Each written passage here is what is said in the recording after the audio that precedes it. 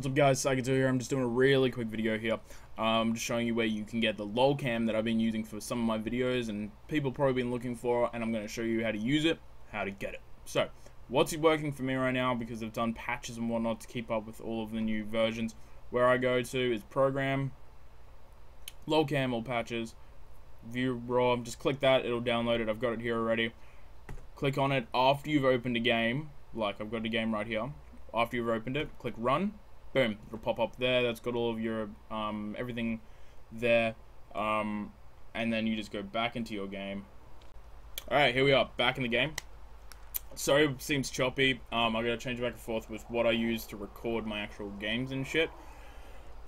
Anyway, so I usually drop all my stuff like this. I just go bang, all, drop all of that. Wait till the cursor goes away. Okay, now you're gonna want to use your pad on the right side of your keyboard with like your 8, 4, 6, and 2. So 8 is up, 2 is down, 4 is left, 6 is right. Sorry if it's a little bit glitchy. Um, I got some stuff to sort out with my settings because uh, I recently changed to live streaming because I use OBS. Anyway, it's gonna look all glitchy. This isn't how it, how it goes. It's just me. So it goes up and down like that, and then obviously you scroll. So let's go ahead a little bit. 30 seconds until minions spawn.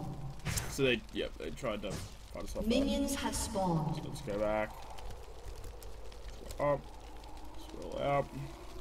Over here. Go to Predator.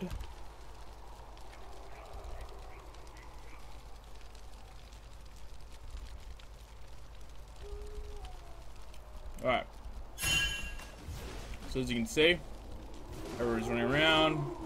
Zoom in like this, go down. Zoom in with your wheel, with your uh, scroll. Obviously, here we are. Change to me. Boarding. Speed up with plus and minus, but that's just stuff you're gonna learn about LoL Record by itself. Speed up is an interesting part.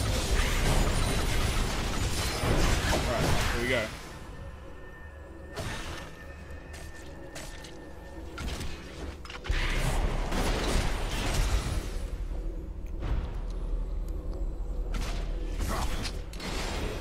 Go.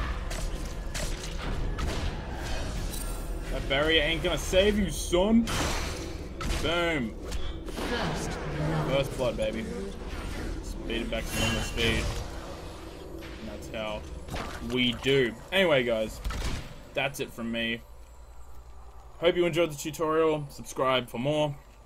I'll be putting out more videos on how-tos and cool effects and shit like that.